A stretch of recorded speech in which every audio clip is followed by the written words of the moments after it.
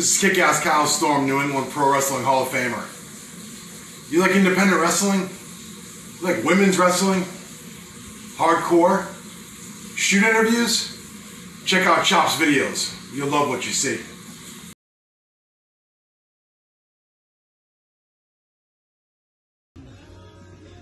What's up, guys? Teddy Goodz here, and for all of you who are junkies of early 90s independent wrestling, especially from the New England area, I need to let you guys know about Chop's videos on YouTube. I am a subscriber and I watch his videos frequently. Tons of NEWA stuff, Tony Rumble stuff, CWA, um, Primal Conflict, just all kinds of hidden gems. A few matches of myself early in my career, so check it out. Uh, Chop's videos on YouTube. Have a good one, guys.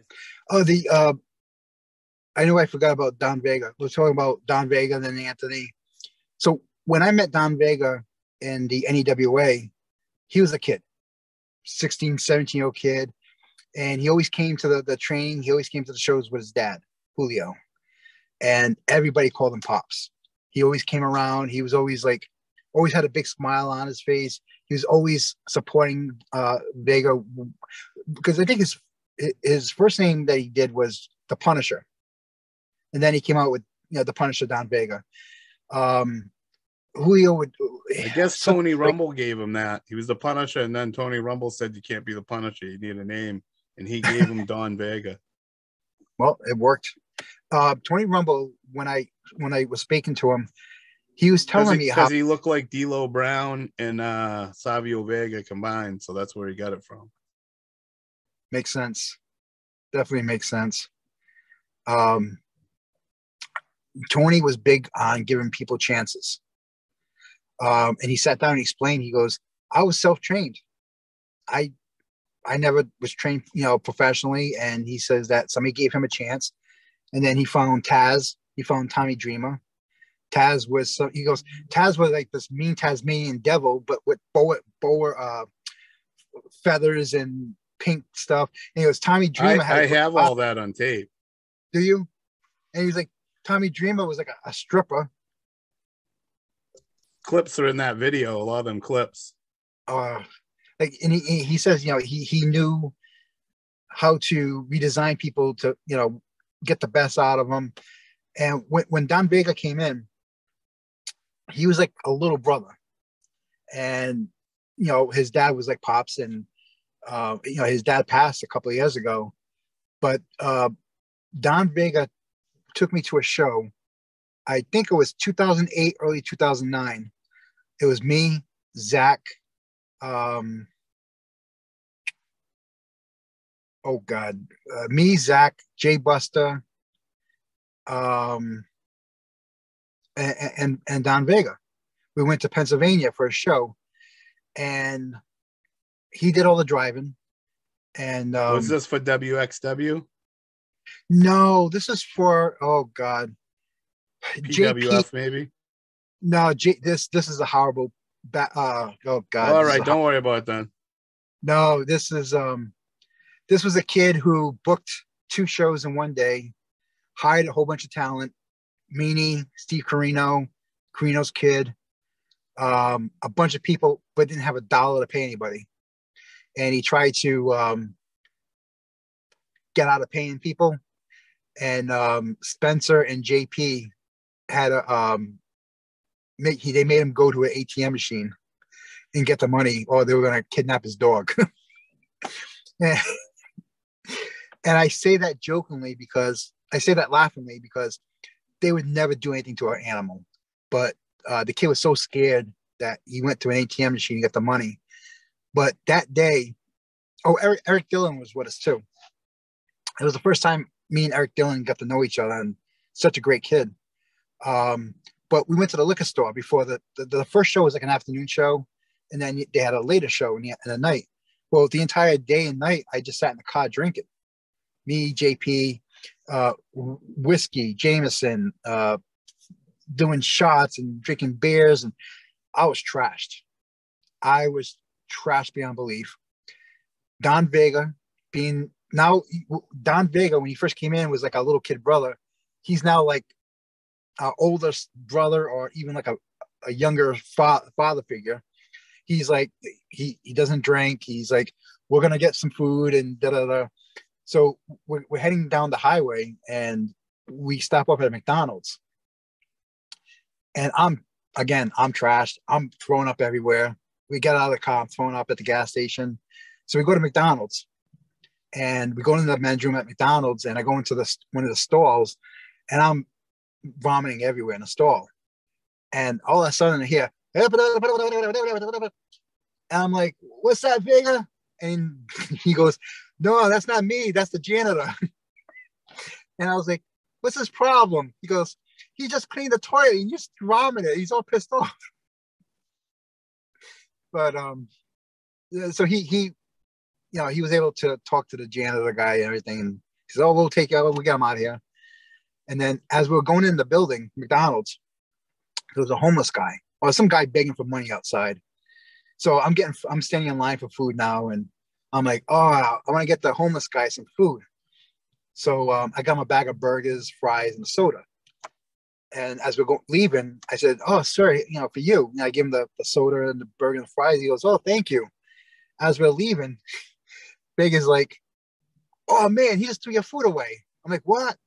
Yeah, he just threw all the bags of food away and everything. I'm like, "That mother f and I was gonna go back and beat the guy. but he was just he was just ripping me.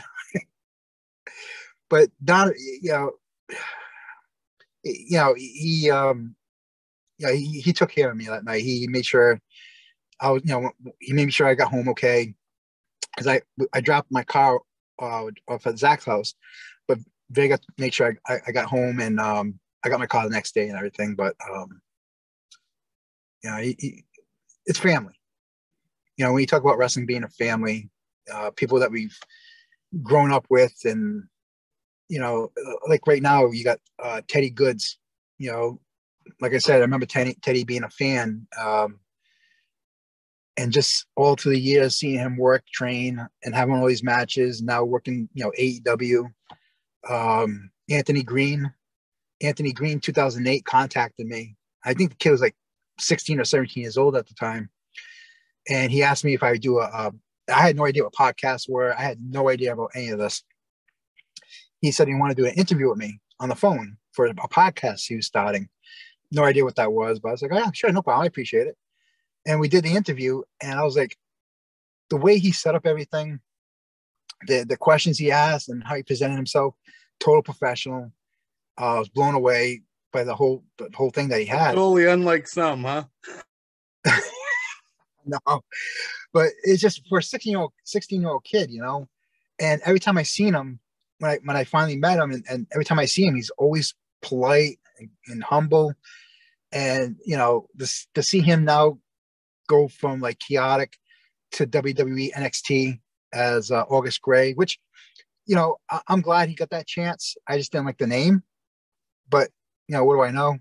But uh, now he's doing AEW, and um, you know, so proud of that kid. He's just, it's good to see these kids, like I said, kids, but it's good to see these guys that you've seen from the beginnings to go their training. And Kofi Kingston, uh, he wrestled a show at the Rhode Island School for the Deaf for Mike Antonucci. And I think he wrestled Kimikaze that night. And um, after the match, I said, brother, I said, that was a great match. I said, how long you been working for? And that was only his maybe fourth match at that time. This was like maybe 2000, maybe 2006, somewhere around there. Um, I know it was after the match I had with Anna. So that was 2005. So this had to be like 2006, 2007. Uh, it was him and um,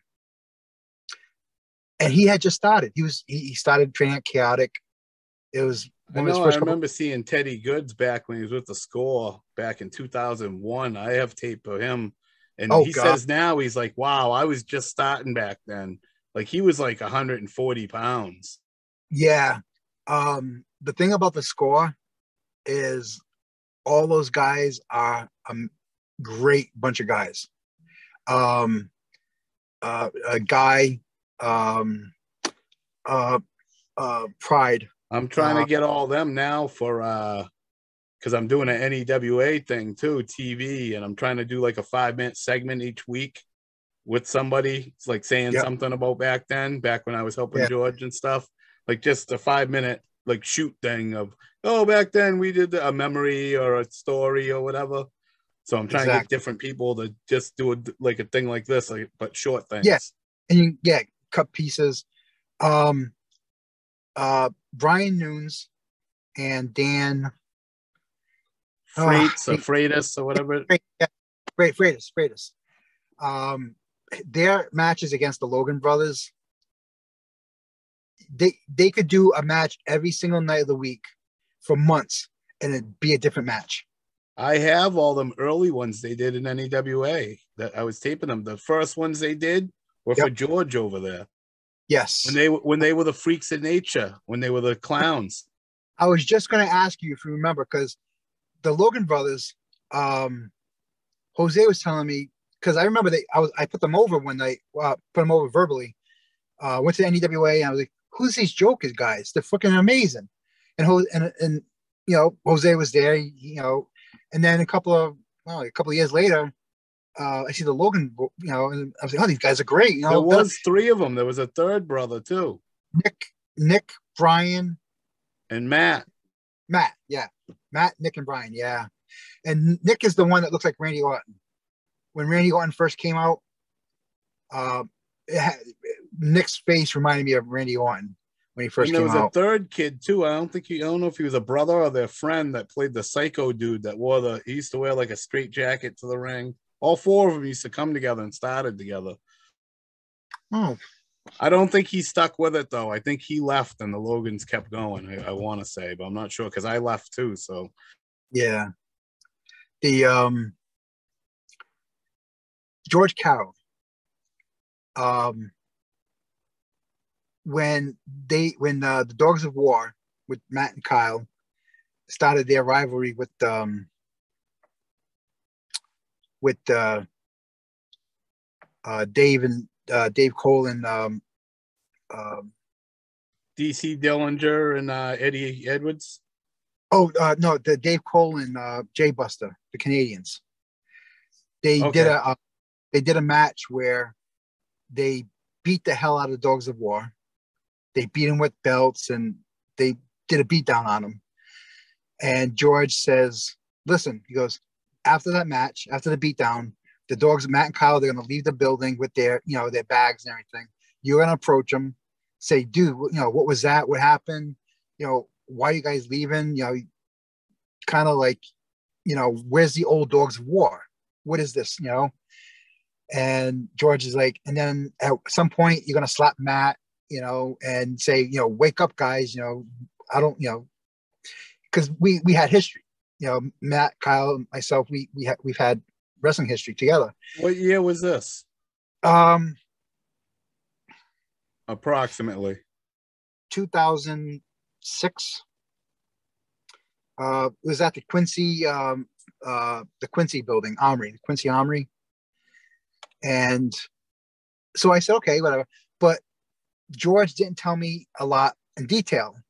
So all of a sudden, George out of nowhere grabs me. I'm in the back and sitting by Adrian. And he goes, All right, we're, we're going to do this now. I'm like, What? He goes, We're doing this live right now. And he just gets a camera and puts it on. And I'm like, One of the things, like I, I was talking, what, what, what Rich Palladino knew is I I don't like doing promos. I, I don't feel like I'm comfortable doing promos. But if you put a camera on me right on the spot and tell me to go, I'll do something. I'll say something, right? So George just put me right on the spot and said, go. And I go up to Matt and Kyle and I'm like, hey, what's going on? You know, I'm like, you know, and they're like, didn't you see what happened? They they made us, you know, he, they beat the crap out of us. I'm like, and you're just gonna grab your bags and leave the building? I said, that's not the dogs of war that I remember. That's like the puppies of the squared circle. And I was like, you want to leave now? Fine. And mind you, as we're doing this, the fans, this is during intermission the fans are coming out into the uh, into the uh, the entryway and standing around us. And I'm, like, I'm trying to do that like that uplifting speech, like you know, you guys want to walk out here with your tails between your legs? Go, go do it. That, that's not the dogs of war that I remember. The dogs of war would go back fighting. We'll fight another day, you know. And I'm doing this whole thing. And I was like, you want to leave? Fine. And I slapped Kyle first, which I wasn't supposed to do. then I look at Matt. I was like, you want to? Because I want it. Goes, and I said the way I said it was, um,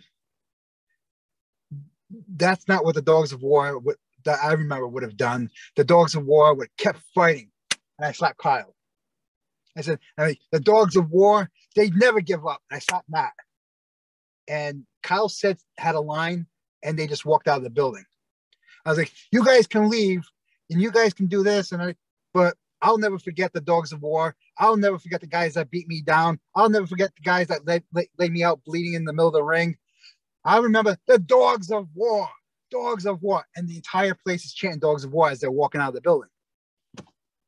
And and you know they're chanting that as they're leaving, and then George just turns the camera back on me, my face, and I'm just sitting there shaking my head. And Sheldon Goldberg said that was like um, uh, there was a scene in Animal House where John Belushi is giving this like speech, and uh, yeah, he said a reminder of that, and it was funny. But um, George was, I was comfortable doing that, and it came out flawless. Um, uh, George just gave me the, the, bullet points. He's he's like, you're gonna approach them, you're gonna say this, you're gonna slap Matt. I slapped both of them, um, and then the we did a great thing. Um, the um, the the Canadians were getting got involved in somebody's match, and the three of us, me, Matt, Kyle, came out of the curtains as the Canadians were coming back, but we were behind, like, so their backs were t- towards us. They're looking at the ring, right? So they turn around and see us, and I clock uh, Brian Cairo, and Matt and Kyle end up beating up on Cole and um, Cole and uh, Jay Buster, and we're beating up on him. We're beating up on him, and as soon as they they're laying they're laid out, I hold up keys. Right. And Matt Matt and Kyle just look at me and I'm holding up these keys, right? And I'm like, follow me, boys. So they take David Cole and they take Jay Buster, put him on their shoulders. They follow me out of the building. The entire crowd follows us out of the building. We put him in the back of a trunk, right? Kyle gets in the uh, the driver's seat. I call shotgun. Matt gets in the back, and we go take off and we just take off with them in the thing. And Brian Cairo is still laid out in the, the gymnasium. So we end up going around the corner and everything like that. And we came back. So the crowd thinks we just took off with these guys. You know, we just kidnapped them. And then they do a thing with Cairo later on where Cairo's on the phone. He goes, Where's my Canadian superstars? And of course, it's, it's like a conversation like, you know, we got, we're holding them hostage and type of thing. But it just works so well you know, we had a lot of fun with that one. But um, but George, George just the way he produced everything, the way he came up with the um, he, he's so good. You know, George is great. That's one of my big regrets. I didn't get to do more with George. I loved bouncing stuff off of George, and I never fully opened up because I never felt like I was in. I was like an outsider. And like when I left, I was just starting to really open up and connect me and him. Because at first yeah. I was like sh- kind of shy because I'm an outsider. But George yeah. was totally open to me, and but I never felt like me and him were open. But I never felt like I could walk up to a wrestler and say, "Hey, do this. Hey, do that. Hey," because they'd look at me like, "Who the fuck are you?" You know what I mean? If, if somebody asks you, open up. Right. You know? It was, but we just started getting to that point towards the end where, uh, especially promos and angles, because yeah. I. But George never addressed everybody to this is Chop. He's doing this. It was just more or less he'd be out there and I'd walk into the locker room and go, Hey, come here, do this, do this. I need you to come outside and lift the log and put it on your shoulder and you're going to be curling the log. Well, and they're looking at me like, why am I doing that? Because nobody else yeah. was doing that with people back then. You know what I mean? And some people got it and was like, dude, that's a great idea. And other people were like, why? Nah, dude, I'm gonna I'm going outside to you know get a burger or whatever. You know, it was weird. It was kind of a weird time because nobody was doing that. Some people thought it was genius and great, and other people thought it was why are we doing that? You know, and look what he is now. He's not, you know, he's doing work for uh, NXT, so he's got a good mind. You know, it's kind of back to that again with nobody's doing that stuff. I think it needs that kind of stuff again. You need vigilantes and promos and weird stuff. Look at AEW don't do it and they need it. They should be doing yeah. they do it here and there and when they do it it's good stuff. Yes. Um I miss the now everything seems like okay. So if somebody comes into the WWE or uh, NXT, it's like hey, they show up and th- there used to be a build up. Like, right? Uh, no, I hear you. Have, you know have some build up them coming in. Who is this guy? Tell me who he is. Get me connected to his character. Have him come in, beat a couple people. You know, yeah. It, there's none of that. Like they, they just bring them in, they put the straps on a team real quick. Um, like because I remember like the Big Boss Man, for example, or Razor Ramon, perfect example. For weeks, it was like Razor Ramon coming out of a car on the street somewhere. Oh, machismo, yo, yo, and I don't think Razor appeared on TV for months. And you know they did these the the vigilante. Uh, vig, what is that word? Vigilante is um like a superhero. I know I say it wrong all the time. I just said it wrong. Vigilantes, I don't know, but um, but I know you're talking about. It's like these little short clips introducing the person, get so the fans get know who they are. Because now today, you know, I love going to wrestling shows. I haven't been to a wrestling show in a while, but uh, before 2019, I had my stroke in 2019, and I haven't been to a wrestling show since. Um, but before that, I was going to XWA shows on Thursday nights. And I love going to these independent shows, seeing new people like MJF, you know, on a Thursday night. You know, MJF would show up with some of the, the New Jersey guys and stuff. And really don't know who these guys are. You know, there's no, they just bring these guys in. Uh, MJF is good. Um, there was a couple other guys they brought in that were really good. JT Dunn's good. Um, uh, David Starr. Uh, I, I, know he kind of disappeared, but um, yeah, these guys bad happened with him with the cancel culture. Yeah, that's um, uh, Joey Ryan's still around somehow, but yeah, you don't um, hear much about him though. He's fighting to stay stay alive, keeping his nose above the water. He well, there was a show. I think David Starr's was worse. I think it. I'm not sure. I can't remember, but I think his was something else. Yeah. Um. Was his underage or something? Maybe I'm not sure. What was the way he treated women? Um. I know. Um. Bad Boy Riley. Um. That kid was money, and he went and screwed it up with um videos of, of kids and stuff like that. He screwed himself. Um, but the um, um, I can't remember what I was talking about. I'm sorry. Um, oh, going to X- Joey Ryan and all that, and uh, Joey, David Starr. So Joey Ryan, he still runs shows. And yeah, but I think that's the only way he's working is because he's doing his own shows, and I don't think he's doing he well with them. He won't even put his name on the show. So all these wrestlers are getting booked, thinking they're wrestling for some company, and they go in, they find out it's owned by Joey Ryan, and then now they're like, you know, they'll work that one show, and then they don't work again. But um, uh, but there's there's nothing that okay when I go to wrestling shows now, and this is no offense to anybody, no offense to, to, to JT Dunn or anybody in wrestling, but when I go to a wrestling show and I see a guy in the ring now, I'm like, is this a fan? Is this the guy that bags the groceries at Stop and Shop? There's no one that looks like when when you went to a wrestling show, you saw guys that you would not see on the streets every day. You know, either they were freaks there were the tall, there were you know giants. They're just normal looking people. Everybody's got their head shaved. Or if, got... if, they were, it was a tough, the tough guy on the block. Like if it was somebody yeah. you'd see, it was a tough guy at the bar that you didn't want to mess with. Yeah. Now today is just everybody just looks the same. They're not a character. They're not a gimmick. They're trying to be themselves. You know, it's I don't know. It's it's just hard to watch today. You know, it's just um I enjoyed the NXT, the black and gold NXT. I'm not a fan of the uh the bright lights, colors, and but even even that was good, but it wasn't great. It wasn't as good as like what we grew up on and what we watched. You know what I mean? It was better than what else was out there, but there yeah. was still holes in it.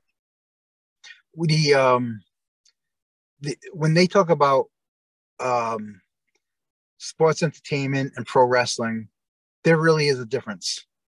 Um, if I was a kid, if I was ten years old now, pro wrestling would not interest me.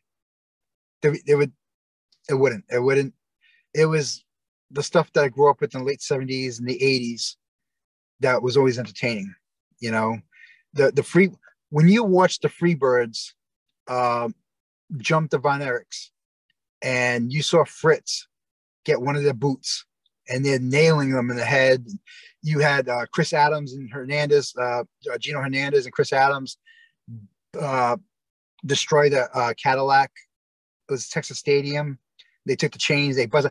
Yeah, you thought they won the Cadillac. There, there, was there was nothing in my mind that thought that was one man gang's chain. Was it? Oh, it, you know, there was nothing that made it sound look phony, that look hokey. And unfortunately, I, I, I watch a lot of Jim Cornette. I listen to a lot of Jim Cornette podcasts, where he talks about his problem with today's wrestling. And I'm like, I feel the exact way. You know, there's nothing uh just no, I agree. Going back to what you say earlier, I remember when I used to watch World Class and I'd flip over to WWF. And when I got that age and people would say it was fake, I remember thinking they're talking about that Hulk Hogan stuff because this yeah. World Class is real and that WWF stuff's fake. And I really thought that at the yeah. age of like 10, 11 years old. I thought that was fake and this is real because they're hitting each other. Look at that. They're hitting each other with that boot and stuff. And and then when you get the AWA and NWA, that's like, wow, this is even more real. Because they didn't really have gimmicks. You had Larry Zbyszko. Um, you had guys- not even bringing the gimmicks into play, just them them hitting each other. Like the Freebirds and Von Erichs were, I mean, they went, hey, watch my nose and my eyes and my throat and my balls, but they were hitting each other, man, in the head and in the cheeks and in the stomach. You know, they were wailing each other. Michael Hayes said the the worst thing was you never know when you got in there and the Von Erichs came in and they were fired up and throwing fists. You never know which is going to hit, what's not going to connect, because they were just wild you know? Kevin they say was the worst and they said every night you felt like you were in a fight. It's just that's what they did. They didn't feel they tried not to hit you in the nose and stuff you know? Don't yeah. hit in the nose the eye or the balls or whatever but everything else was pretty much open game you know? You watch them watch them today put a tape in and you look at oh, it.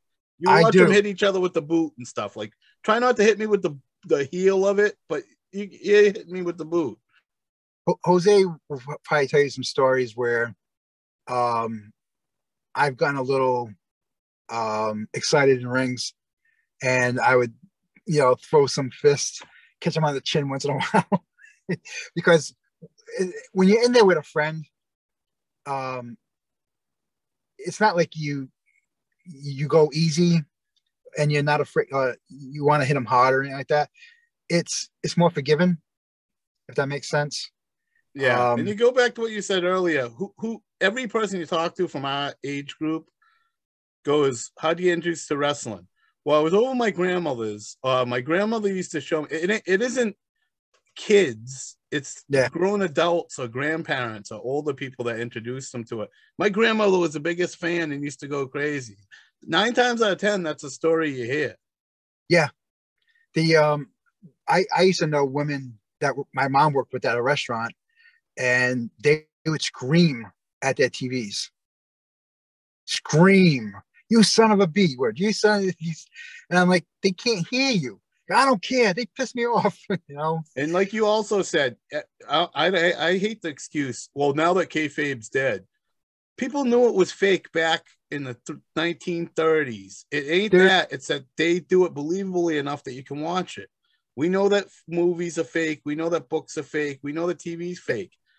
They so they don't give up and go, why bother trying to make it look real? They still try to make it look real on a TV show. Why? You know it's fake.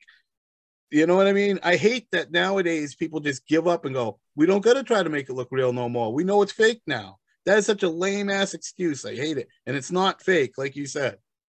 That's where they come with the big leg slap. As Mike Baker would say, leg slap.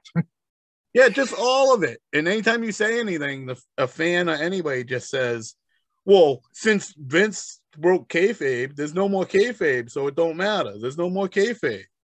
Well, and, and the thing is, is all these people don't even know what these words mean. And, and kayfabe just means quiet secret. Yeah, it's a fan says, "Shut your mouth. Stop talking about it." Yeah. When um you, when you go to the TV tapings, there's a room that's called the kayfabe room, and that's where the producers or Vince will take the the boys that are involved in a particular uh, match or spot, and they'll talk about what this, what's going to happen for the night. And it's called I mean, kayfabe. secret, like like keep it secret. Exactly. And if, if if you know me and somebody at a restaurant, we're talking and somebody walks by us, or, you know, comes, you know, we're talking about something and then uh, oh, kayfabe. Or if you want to say it properly, kazave for zabe. The whole Connie kazave for kazave for zabe. Um, Mizak. Uh, I hate I hate the Connie words, but but um, I got in an argument with a kid in Denny's one night. First of all, he was talking about the mass transit incident, and he was making statements of facts, and I said, I, I just turned around. I was like, "Are you even old enough to know about that?" I said, "You weren't born then." And he goes, "No, but I just heard from my brother." I says, "Listen," I says, "Don't that what what, you, what you're saying is absolutely not true." And the kid yelled at me, and he because had no idea who I was. He's like, he goes, "Oh, don't talk to me like I'm a, I'm a fucking excuse my language." He goes, "Don't talk to me like I'm a friggin' mark." I said, "Do you know what a mark is?" He goes, Yeah, it's a, a dumb fan. I says, Oh, good Lord. A mark is a term that came from the carnival people in the, in the times of Connie. When a ticket seller at a carnival would be selling the tickets, a lot of times, you know, the uh, the, the dad would bring the family and they would see, you know, dad would open up his wallet, pick up the money. The dad, the, the, the ticket seller would see that the dad had a lot of money. So what the ticket seller would do was put a little chalk in their fingers, right? And they would keep it in their fingers. And when they saw somebody with a lot of money, they would be like, Sir, welcome to the carnival. Have a great time. They pat them on the back. And with the chalk in the hand, they leave a little mark on their on the back of their shirt or jacket. That would tell the people running the game booths and all the other booths, hey, this guy's got money. So they would try to wheel them in to play the games and get the money. That's all it is. Is just, uh, we're all marks, you know. I, am a mark. Yeah, mark's supposed to be just a fan. Anybody that's a fan and anybody that's talking about her there is a mark, really. You know, it, it, there's no such thing as a smart mark. That's an oxymoron. And I go, I went, I go, I, I pay fifty dollars to go see Ghost. I'm a mark. I bought a ticket. When you go there, what do you do? You walk over to the merch table. I'm a mark. You know, I'm there. I'm their target audience. You know, I'm there at the concert. Sell me a shirt. You know, that's and that's all it is. It's it, and all these people today. It might like, be oh, a demock, a dumb mark, demock. uh, yeah, pro- there's a lot of democks but it's just like, and I, I, in the early 2000s, I used to go on the message boards, especially the Burning Hammer, and I get really mad like when people would try to be smart and they try to like use these words. I'm like, I it'll get me mad, and I'd be typing away, typing away, and I just learned, you know, to stop. but we you gotta laugh at it. Most of it's funny, I think. When you see people like saying stuff, it's just funny. It's like people are so ignorant and stupid, and they they think they're like so smart, and it's just like I just shake my head and laugh. Like, and my my thing is, what is I heard? I heard tonight at the Rumble somebody's gonna make an appearance.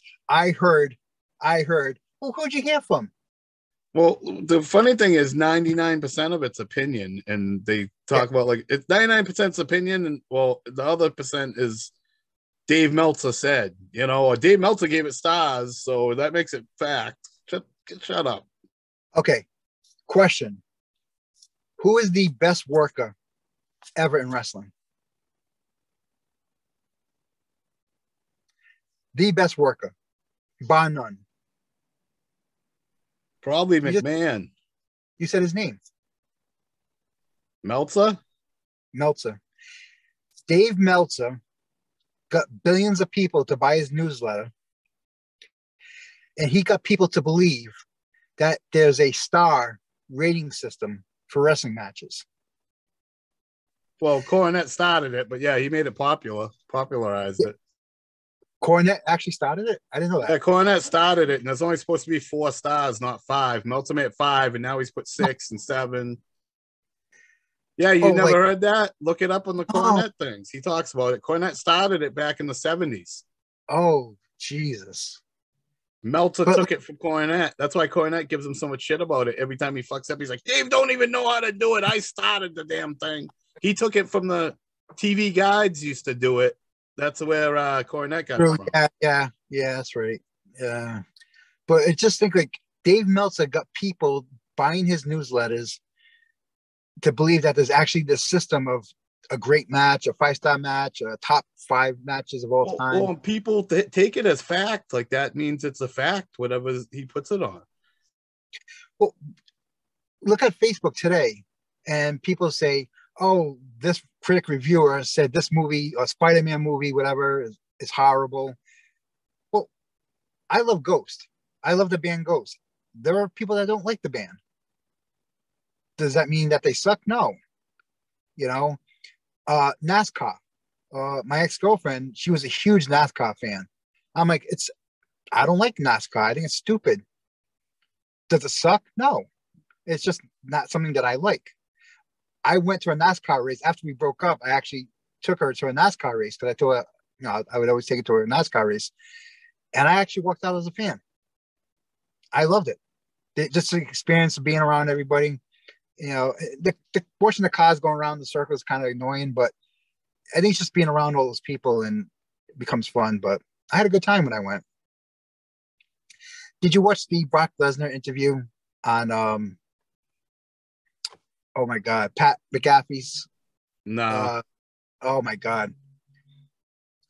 You gotta watch it. It, it it's it's if you can tonight, go to YouTube and it was from like Valentine's Day, whatever it was. Brock is hilarious. And he explains that he didn't have a TV growing up on a farm. And the first time he ever heard of professional wrestling is he was in college and they would watch it in the dorms. And uh, Brock talks about he now has um, his own Brock seasoning. And he worked with the guys called the Bearded Butchers, which have their own YouTube videos and Brock wants to learn how to butcher meat and stuff like that. So he went, met with the butchers, and there's a video of him learning how to cut meat and you know, skin, you know, the animals and stuff like that.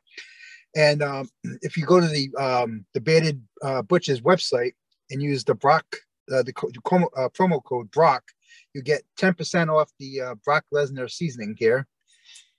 what are you getting a cut on this? no, I'm not uh, sponsored uh, yet. I gotta get some sponsors here. No, I um, uh, the Bearded Butchers. I went to their website after the Brock uh, interview I saw, and um, yeah, it, it's real. It's real. It's the Brock Lesnar seasoning, and um, I just got it in the mail today. and that's why I got me right oh, now. Oh, you haven't tried it yet? No, it smells amazing. It really does smell really good, but um, but, but yeah, but Brock. I mean, Brock Lesnar um that interview is really really cool because it just explains like it shows the real side of Brock Lesnar. Like you know what I mean? Like it's like um in 2000 in the early 2000s when he left WWF people were like saying oh he left because he, he hates wrestling he hates this and that's just people talking you know that's but that, that's why it pisses me off when people say state as fact. You know. Um, well, I think he oh, said something when he left, didn't he? There was something he said about fake wrestling or something, if I remember right. I can't remember the uh, exact statement, but he said something one time because I was pissed at him for a while. When he did the UFC thing, he said something like, "This is much better than that fake wrestling crap" or something. I can't um, remember what it was exactly. He did a match, and he went on. He, he, he crapped on professional wrestling, and he says, "I don't even drink Coors Light. I drink Bud Light or something." And he just like he went off on the sponsors and um yeah, yeah. I think that's what buried him. Not yeah.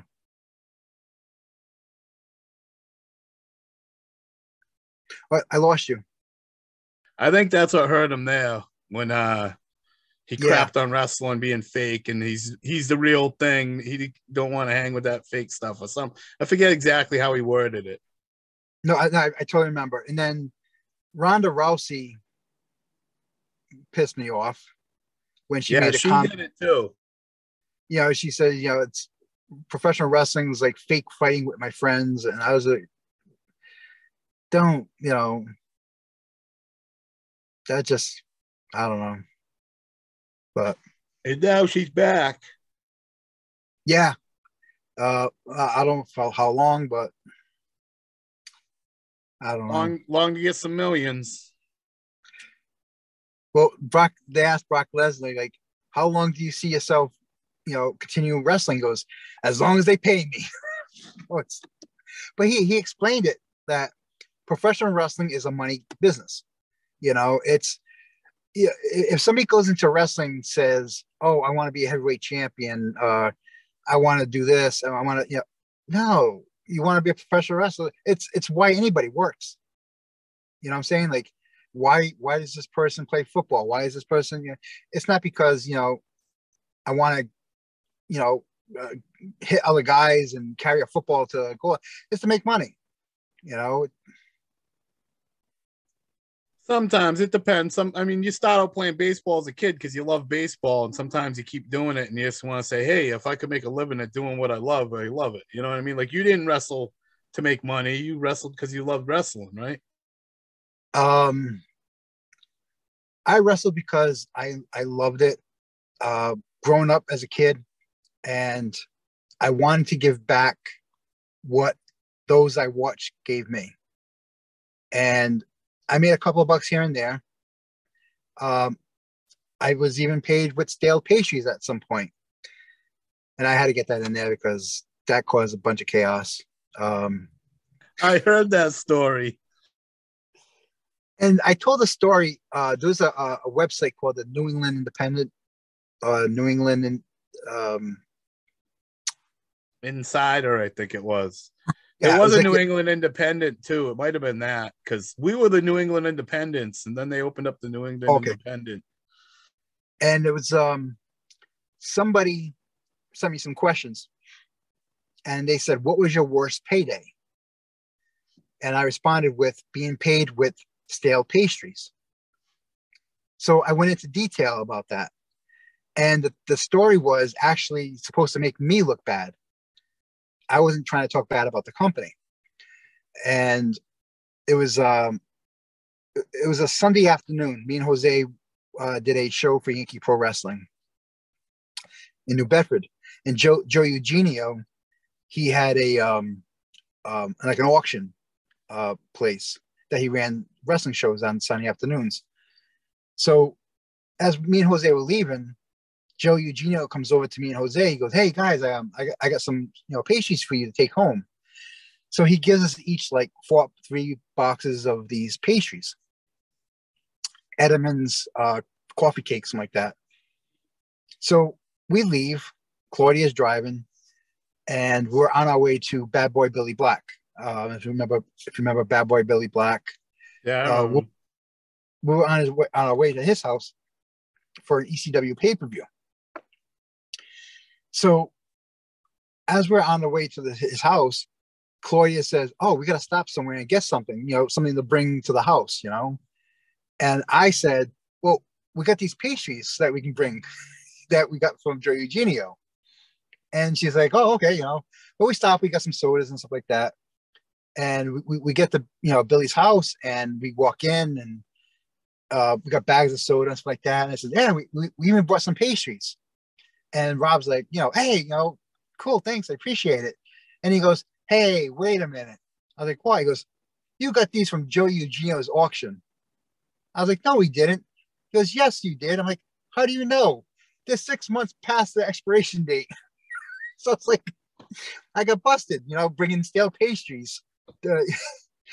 so I told that story to kind of like, it was to make fun of myself. And um, uh, I, I know Steve Akkad and some of the guys, they got offended by it because every time I would see them, they uh, we we we we really didn't speak too much to each other. But then after time, you know, you know that was all buried under the bridge, and but yeah, it's just that's one of the funny things I. One of the stories I had was I was paid with stale Edmonds pastries.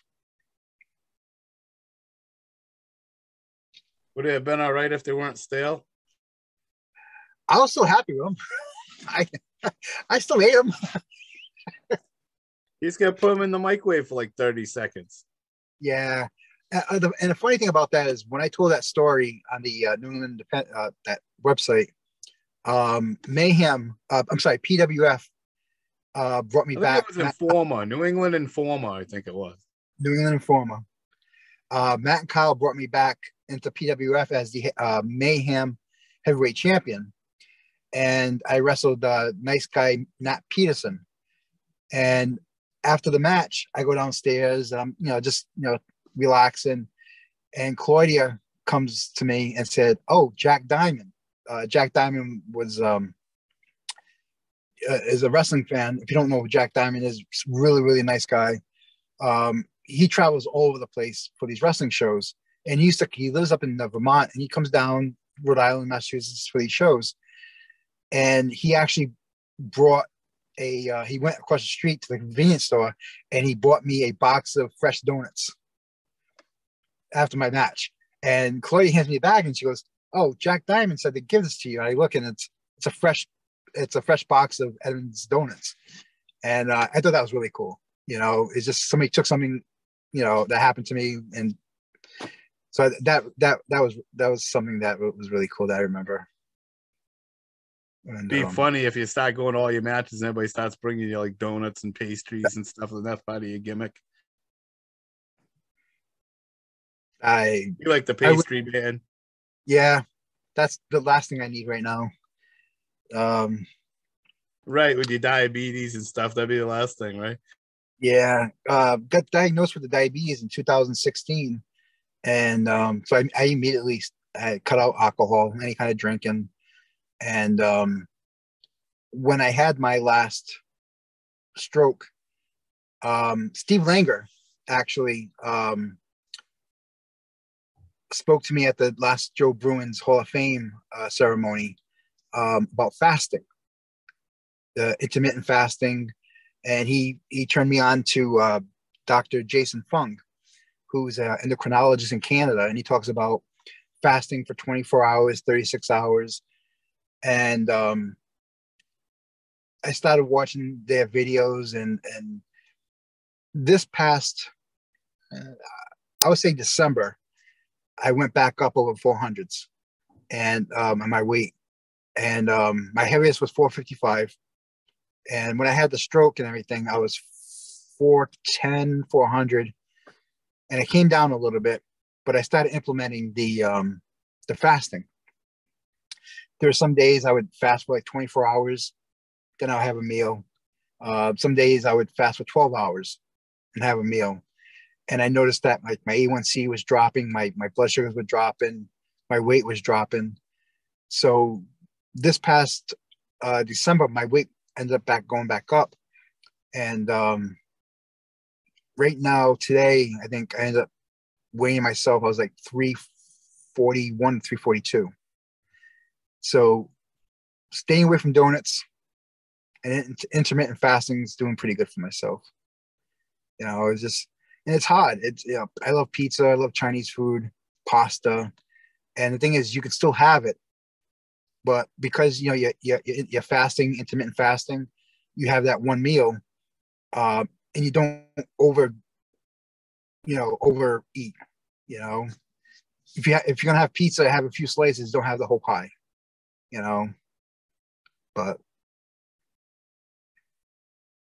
yeah, that's the hard part, right? Especially after you fasted. Yeah, but um, yeah, we, we we've lost too many good people. With, with Dave Jackson, he you know he developed diabetes and it put him in the chair, and um, it just seeing a lot of my friends going through all that. Just you know, I, I you gotta take care of yourself, you know. Yeah, that's why I want to get all this stuff out here, all these stories and all this stuff. Yeah, all the footage and stories has to be out there, man. Because if it ain't now, when's it going to be out there? Yeah. You know what I mean? Yeah. Look, look at this next generation. They don't care, dude. They're all playing video games, and there ain't no backstage stories. There ain't nobody going to tell this stuff. That's why I yeah. want it out there. I mean, even if it ain't on a big level, this small level stuff, you guys are the family and the stuff. You know, there is a lot to tell. Yeah. So, Who, how many people are putting it out there? Not that many. There's a few, but yeah, that's why I'm trying to get it all out there. Yeah, just I, I, I wish my memory is a lot better. Um, well, it takes bringing stuff up and showing you stuff, looking at footage. There's a lot of stuff I want to do. I want to do like watch alongs, like put matches on and sit here and watch them with you, and you yep. can talk about it as we watch it, stuff like that with p- different people. Uh, just stuff, different ideas I got like that that I want to do with people that would help. You know, if, if I put a match on right now and you're watching, I bet you things would pop. Oh yeah, I remember the night, the week before we did this, or the, you know, stuff would pop in your head.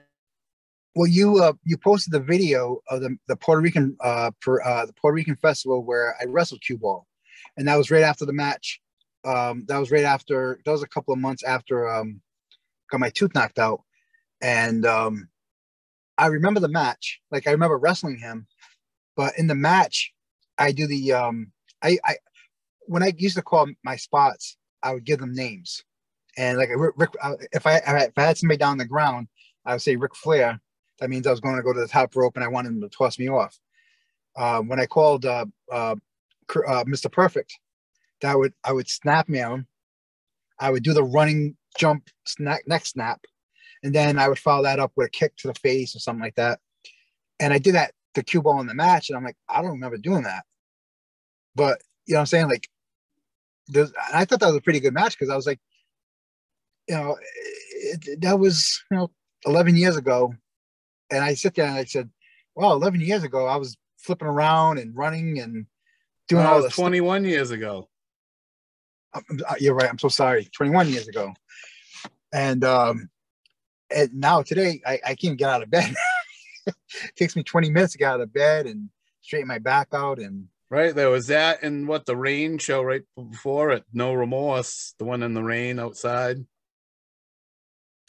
the rain outside no remorse isn't that the other one you wrestled cue ball on um with balls mahoney and and uh nemesis Okay, I I okay, yes. Oh my god. See? I totally forgot about that one. I think I posted that one too. Did I post that one too? Maybe That's I didn't. He, Maybe um, I just watched it and didn't post it. Um the guys from CZW were there. Yeah, uh, Nick uh, Berk was there. Ruckus was there. That was the first time they came down. Yes. Okay. So Ruckus, I had seen videos of him running up the walls and doing all this crazy stuff. So when I got there, uh, and I met him, I, I said, you know, I'm big fan of your work and everything. And he's really, really nice, keep very humble. And in our match um, with cue ball, the finish was um, Brian Cairo coming out on, on my behalf, and he goes to throw the the the, the pool cue, uh, cue ball's uh, pool cue into the ring, and I thought, you know, it, it was supposed to be like I'm ready to catch it up in the air, and he slides it into the ring, goes between my legs. Cue ball gets his stick. I turn around and he clocks me over the head. And I told uh, Cue Ball, I said, dude, I says, when you hit me, hit me. You know, don't don't hold back. You know, I'll, so I'll take a big bump for you and everything. He says, uh, but just don't hold back. He goes, all right. So I remember him taking that stick and I tuck my chin, taking on top of the head. I fall back and he covers me. He goes, oh, excuse my language. He goes, oh, fuck, you okay? I'm like, yeah, I'm fine. And, you know, he, he gets he's announced the winner and everything. I roll out of the ring. I'm I'm selling. And as soon as I go put the my head, my hand on top of my head, I'm like, what the hell? So I I I walk into the back, and the first person I see is Ruckus. And Ruckus goes, Oh man, you okay? I'm like, why does everybody keep asking me this? And Ruckus is like, dude, look at your head. And I had this big egg on my head from from getting hit with the pool stick. And the thing is, cue ball's pool stick exploded, cracked in half, just totally broke. And Ruckus said, "Brother," he goes, "Did you guys like gimmick the stick?" I'm like, "No." I told him just to hit me as hard as he could, you know, to make it look good. And but um, th- th- that kid such I don't even know what he does anymore if he's still working. Uh, but he was an amazing, talented kid. Who's that? Nick Ruckus. Ruckus, yeah. Yeah, I think he still works some, you know, up there. I don't think it's, I don't know if it's full time, but he works here and there. I see posters. And I don't Berk, know about Cue Ball. I haven't been able to get a hold of Cue Ball. I haven't spoken to him since 2005, maybe 2006. No, nobody I've spoken to knows anything about Cue Ball at all. The only thing I've been able to find out is his name is Sam. That's the only thing. Yeah. No, no social yeah. media, no last name, no nothing. Um, no phone number. Nobody knows anything about him. Have you talked to Jose? I did talk to him. I don't remember if I asked him about cue ball or not. I might have asked. He said he hasn't talked to him. I don't know if I asked like, but nobody said they had him on Facebook or anything like that. Oh, yeah, he's um, he, was a good kid. Uh, I enjoyed working with him. Um, yeah. Wow, you you just bringing that that match up, just kind of like, wow. But even Nick Berk, um, I remember Nick Berk is a good worker. Um, there was another kid on that card too.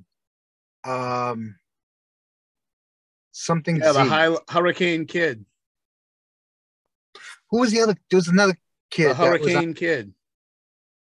I don't know who that is. He fought Ruckus, the Hurricane Kid, little skinny kid. He fought Ruckus on the oh. card. He was from CZW.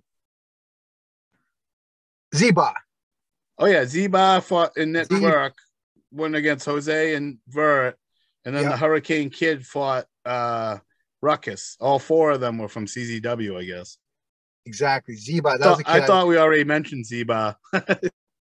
Oh, I, I my, my, my I can't remember. He's passed away too, you know. Zeba has passed away. No. Oh man. Yeah, like last year, I think. Oh Jesus, I didn't know that. Wow. Uh, I, I, last year, Nick Steele, that still, the uh, Nick Steele passing that kind of, it still that yeah. seems really unreal. Yeah, I was. I've been trying to figure out the dates of Nick Steele, like his birth and the date he passed, because I was thinking I think about he, doing a tribute for him. February. Um, I mean, the the guys to ask is definitely like Ryan Drew, um, Teddy Goodz. Um, those are the guys. Yeah, I'll, I'll like, have to ask some of them Yankee Pro guys that probably know. Yes, absolutely. Um, those guys would definitely know. I'm I just trying to get it like a set list with set dates and get like some videos so I can post every year and make them just because then they'll be on the internet. And anytime if anybody does want to search them, they'll come up in five years and 10 years, whatever. They'll be out there. You know what I mean? Exactly. Yeah. Yeah. Because I remember him and his dad um, ran uh, Coastal Pro. And those are the first, actually, first few uh, independent shows they used to go to. And that's where I saw like Steve Bradley, Bob, uh, Bob Evans, uh, PJ Walker, who is just incredible. Um, I, I, used to see those guys and maybe 25, 30, 50 people in a, small little, you know, VFW hall type place. Those are those, those matches were a lot of fun. But um, Nick Berk, I remember a couple of years back, Nick Berk had a a, a gimmick. Uh, he was like a, a, lounge singer, almost like a karaoke type singer, like a lounge singer. And I thought that would that would win over really good. Yeah, probably would have. You know, th- people don't think of gimmicks or what to get over. They just go, "Oh, I'm gonna go out wrestle and be tough," or "Oh, I'm gonna go out and be funny," "I'm gonna go yep. out and be goofy." You know, that's it. Yeah. Like uh, nowadays, people think heel. People don't know how to be a heel. You know what being a heel is now? Be obnoxious as I can. Wear the most obnoxious shirt. I mean, be obnoxious and offend people, and I'm a heel. No, that ain't yeah. being a heel. Yeah, exactly. Make me want to kick your ass. Make me want to go to that arena to see you get your ass kicked. That's being a heel. I don't give a fuck who you're wrestling. I want to see somebody kick your ass. That's being a heel. I want to go to the schoolyard and see the bully beat you up. And that's why MJF is on top right now. You know, be, nobody wants to be anybody. Like Chris Jericho trying to be a heel doesn't work anymore. And imagine, imagine MJF with like good booking, with like with Bill Watts booking him, or or oh, Gary Hart booking him, or something. You know yeah. what I mean? Could you just imagine? Tony Khan has just got him floating there and throwing him. Like imagine him not doing that singing dance routine and that type of stuff, but but just like doing what he should be doing would yeah. be amazing. I think he should have been on top of the world two years ago. You know what I mean? So many of them guys. Wardlow should have been a superstar two years ago. You know, oh. so many of these guys, like people, like oh, this he's starting to push them. What do you mean? They should have been superstars two years ago. They should have been like on top of the world. Hangman Page should have been champ two years ago. Fuck all that Omega shit. But who who do you have in these companies? You have 200 plus people in WWE. You got AEW who's got everybody else. This is too many people in these companies. I know, know, but whose whose fault's that? I know. You know.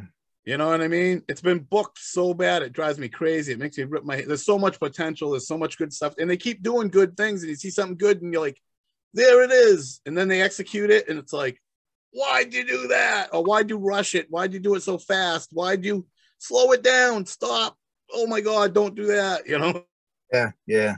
Drives me crazy. It's like you have it right there at the tip of your, right in your hand. Look at. Oh, Vince threw you ten more good guys Look what they did with Jay Lethal. Oh my god, it makes me want to kick a baby. You know what I mean? It's like, yeah. oh yeah, Jay Lethal is like handing you gold. You know what I mean? Now Cesaro they put out there. I mean, Brian Daniels has been doing well, Punk's been doing well. You know why? Because they're like, do whatever you want. We will let you yeah. do it.